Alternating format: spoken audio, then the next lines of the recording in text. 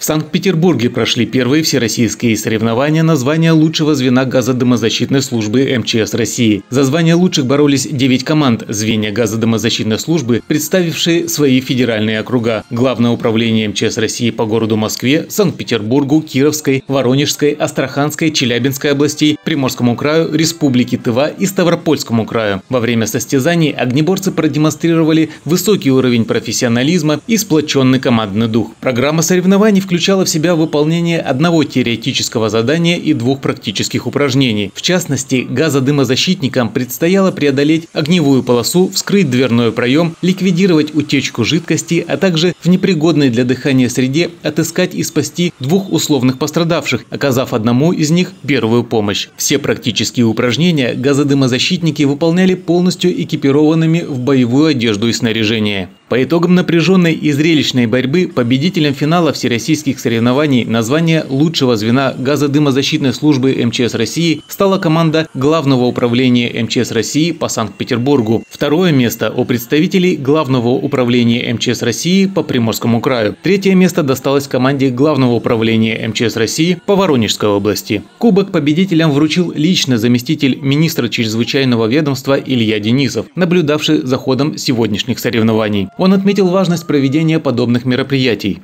Бойцам приходится работать в условиях практически нулевой видимости, в условиях высокой температуры, при угрозе взрыва, обрушения.